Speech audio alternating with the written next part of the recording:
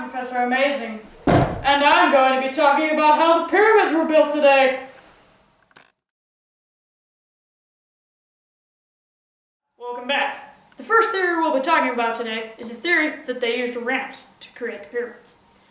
So first, they had two ropes attached to a sled, and they had a lot of slaves pulling the long ropes to the top of a ramp where they would curl around two separate poles so that they could walk downwards, adding extra strength, while the sled that was pulling the heavy block is still going upwards.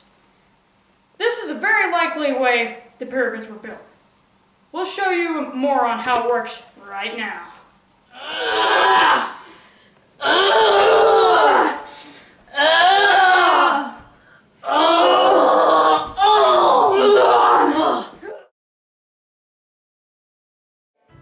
Welcome back from the first break. Now we'll talk about the theory that they used sleds. To begin, thousands of slaves would pull a sled with the blocks on them while slaves would pour water on the sand in front of them. Studies have proved that pulling a sled on wet sand requires only half the strength of hauling it on dry sand. This is another way the pyramids were probably built. Uh,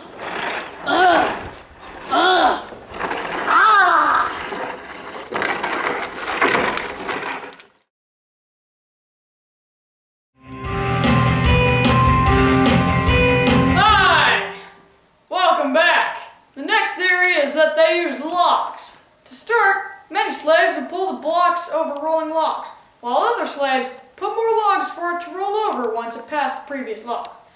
Just like in the sled theory, they would also pour water in front of the blocks to so that the sand would not build up in front of it.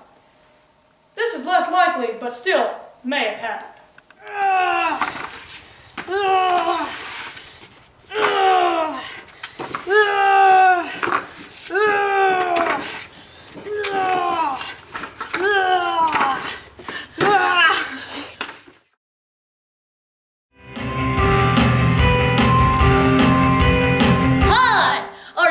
Is that they used cranes.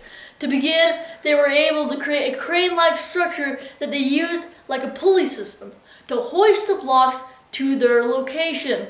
Many slaves would be pulling the rope down to lift the blocks. This is another way that the pyramids could have been built. Hi!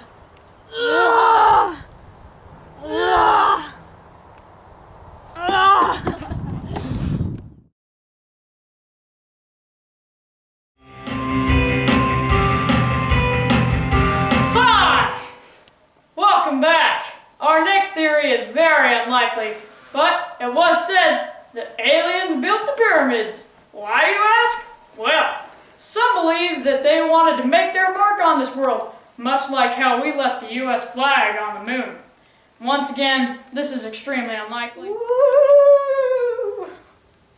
I am an alien from Mars.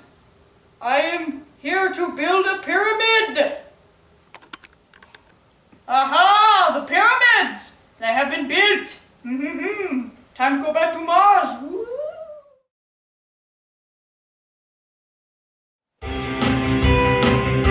Hi! Our next is that used levitation. They built two large antennae with a copper-like substance called caduceus coil. These two coil generators created a soltron field, or in other words, vortex. The possibility that they knew this technology before we did is highly unlikely.